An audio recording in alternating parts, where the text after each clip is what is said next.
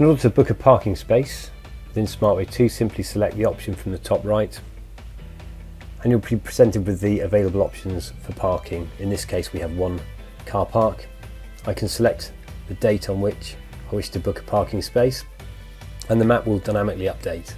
I may have specific requirements such as an electric parking bay and these can be selected with fully customizable categories.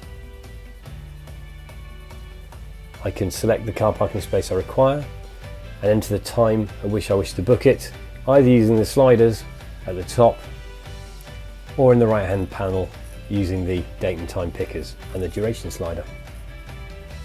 I can book on behalf of other people if I have the rights to do so and I can customise the information I wish to capture about the booking, in this case the registration plate and the car make and model.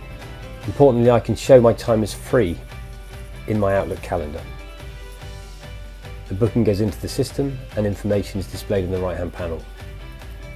If we look in Outlook, we can see my parking space booking, importantly showing my time as free so that my status is accurate in Teams and other platforms. And I will have received an email confirming all of my booking details.